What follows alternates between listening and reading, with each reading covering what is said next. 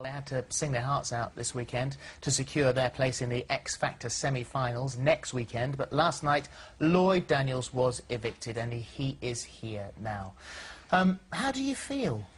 I feel a bit weird because, like, um, I'm not going to say I wasn't expecting it, but when it actually happens to you, you're a bit, oh no, I'm Yeah. actually gone.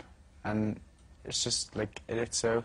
What did Simon say to you when? Because he, he leant over and he there was a, a couple of sentences. What did he say? Yeah, he was, he was just saying he was really proud to have someone like me on the show and that I've done really well for myself. Ah. And I've got to, uh, to big myself up a bit more as well, so I'm really looking forward to that. Yeah. Are you? Was there an element of you that was relieved it was over? Because almost your last performance that you gave last night was it was your best, and I just wondered whether it was because you were like, ah, I'm not being judged anymore. I can just enjoy this.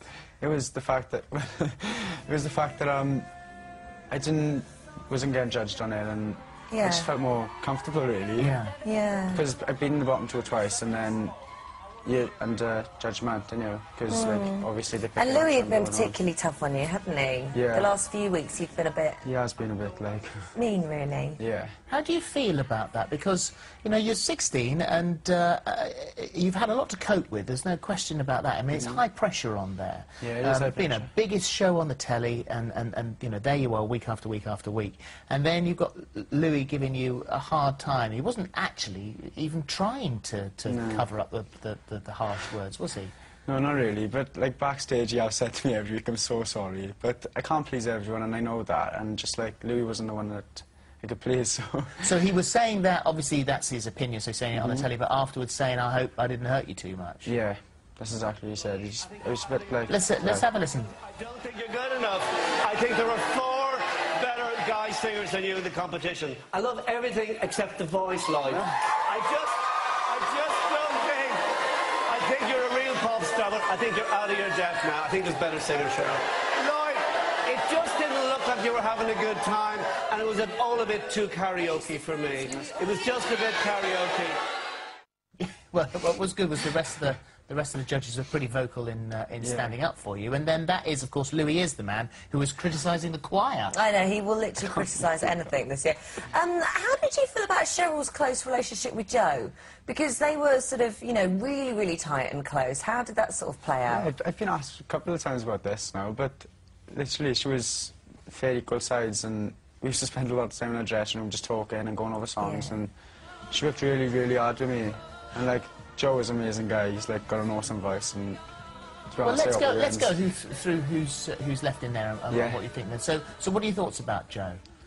vocally amazing. He's pitch perfect all the time, and like I don't know, I think he deserves to win. To be honest. Do Do you? you? Is he your? He's your winner, is he? Yeah, well, we were doing it for Team Cheryl as well as ourselves, so Of course, he of wins. course, yeah. And what about Stacey? Stacey, what a personality. She's brilliant, isn't she?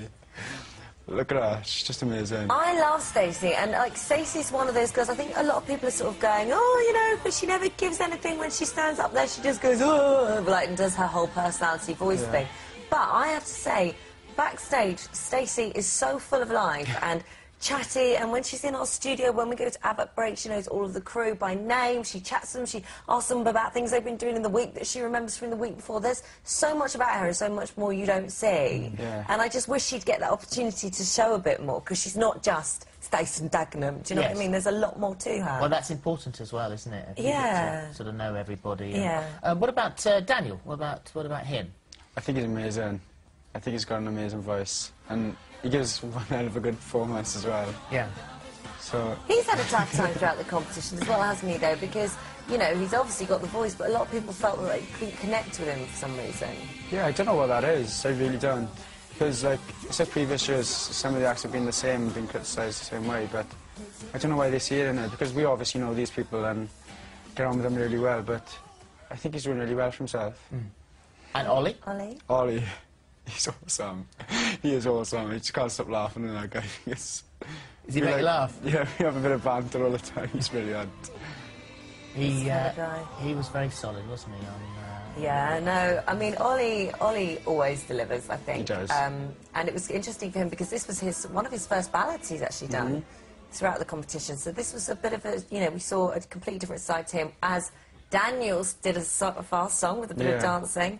Ollie decided to do a slow song. So Yeah. it was quite nice to see them both out of their comfort zones. On the subject of Daniel, let Mm. me just say that I think he's probably, as far as Simon's concerned, will have gone up even more in his estimation because he did save Simon just briefly, just slightly, just a bit What are you saying? last night. If you watch this, Mr. Did I miss this? Stumbled.